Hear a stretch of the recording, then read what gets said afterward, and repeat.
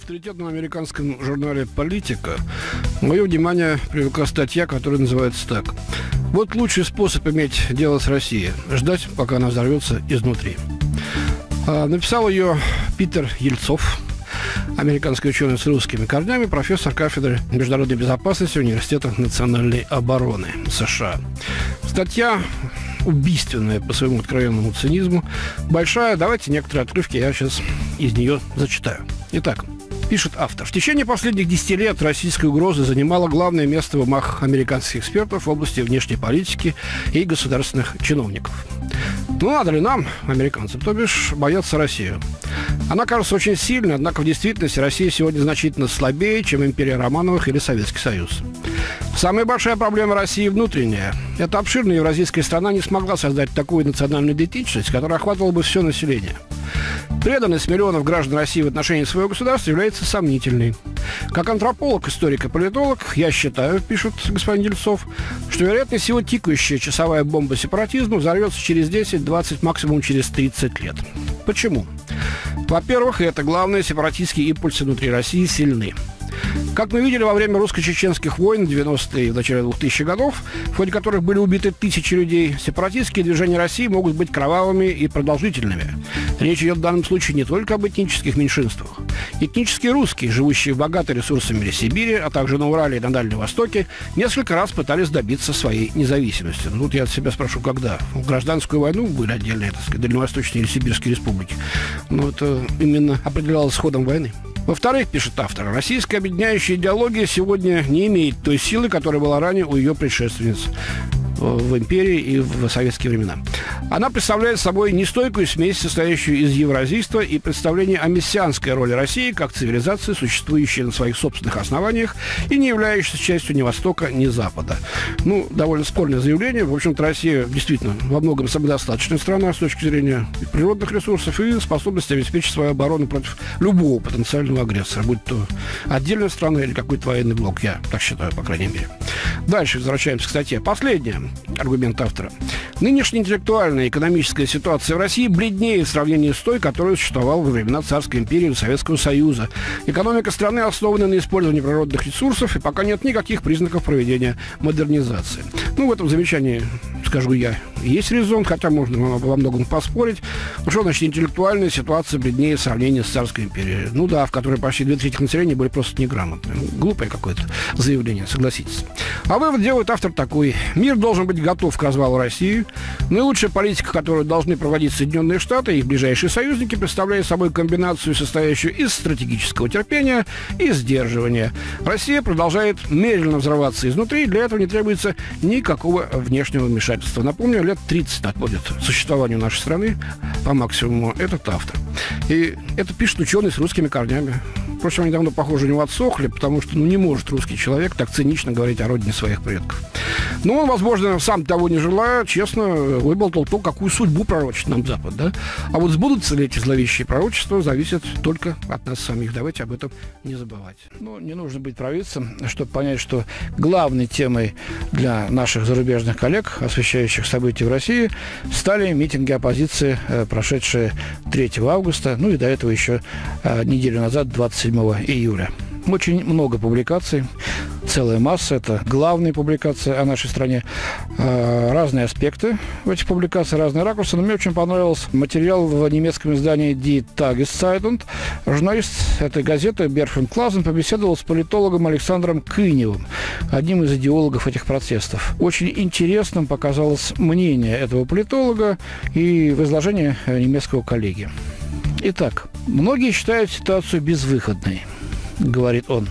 Цены растут, доходы падают, почти нет возможности для развития. Одновременно, внимание, властная элита представляет собой закрытое общество. В ее руках сосредоточены все интересные посты. Между тем, в госорганах и в экономике позиции занимает первое поколение детей постсоветской элиты. У того, кто не принадлежит к этой элите, сегодня еще меньше перспектив, чем 10 лет назад. В такой ситуации даже небольшого повода достаточно для социального взрыва. Мы хотим занимать эти места, отмечает эксперт.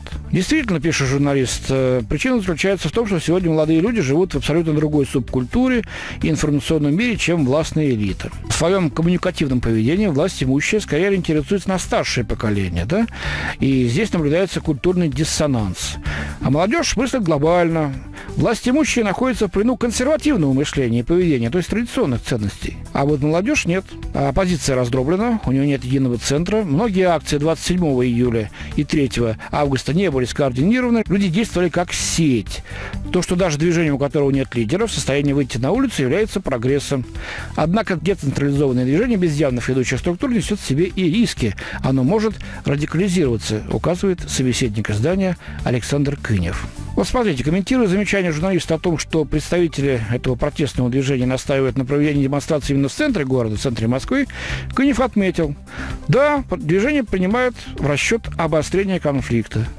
Дальше очень важно. Оно хочет показать, что его влияние выросло, что оно намерено диктовать повестку дня, Оппозиция показывает, что хочет оставить за собой последнее слово. Речь больше не идет о протесте против нарушений, ну, коррупции, там, воровства, жуликов разных, да, как э, пишут, так сказать, наши оппозиционеры. Речь идет о желании участвовать в политическом процессе внутри системы. Что мы видим? Значит так, сынки заняли посты, которые хотим занять мы. Честно говоря, нам не до нарушений. Они воруют вместо нас. Мы хотим быть такими же, как они. Дядя Вася с тетей Машей и прочий российский народ нас тоже мало интересует. Мы хотим взять у них власть для того, чтобы пользоваться ее привилегиями. Вот ответ на вопрос, чего хотят люди, которые выходят на эти э, митинги. Ну, по крайней мере, те из них сознательные, да, а не та тусовка, которая нужна просто движуха и просто зеваки, э, желающие посмотреть, чем там все закончится. Ну и что, вот такие люди должны переходить власть. Да мы это видели в Киеве, на Майдане. Прочь коррупционеров, прочь воров. Пришли еще большие и жуткие коррупционеры и страшные воры. А за пять лет государство потеряло то, что оно имело. Неужели мы хотим это для нашей Родины? Давайте подумаем вместе.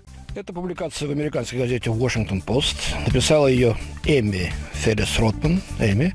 Феминистка, кстати, очень известная. Вот в США. Давайте почитаем. Довольно интересный взгляд на наших женщин, вообще на наши реалии из Америки.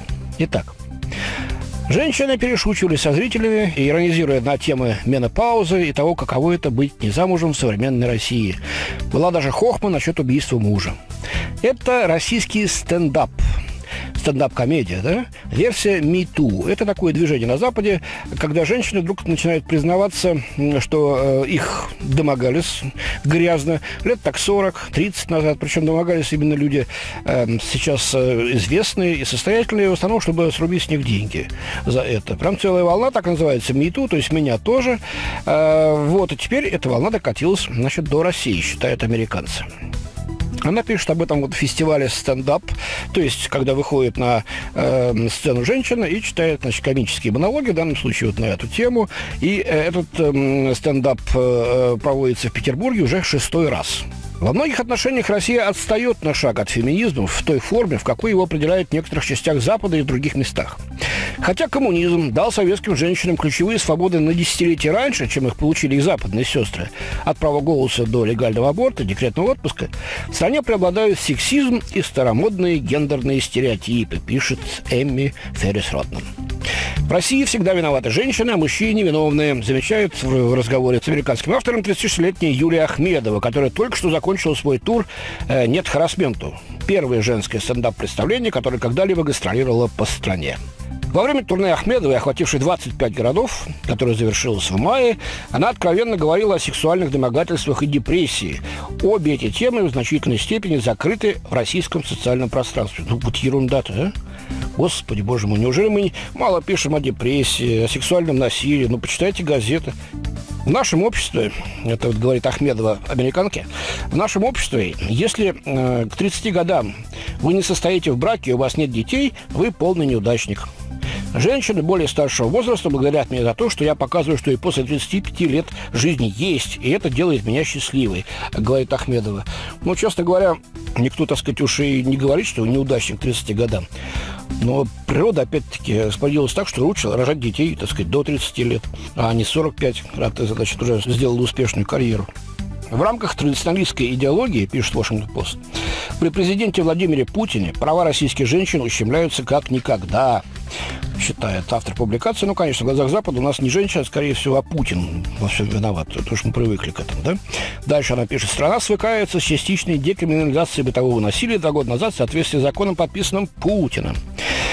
В России единственная вещь, которая шокирует, это изнасилование. А вот в некоторых городах после выступления Ахмедовой к ней подходили мужчины и просили разрешения сделать селфи говорит Ахмедова, э, американки, они, под, они хватали меня за руки, говорили, надеюсь, это не считается харасментом, то есть домогательством, да, а потом смеялись. Точка. На этом заканчивается статья американской журналистки и известной феминистки. Вот такой взгляд на Россию и на наших женщин. Вы с ним согласны? Я нет.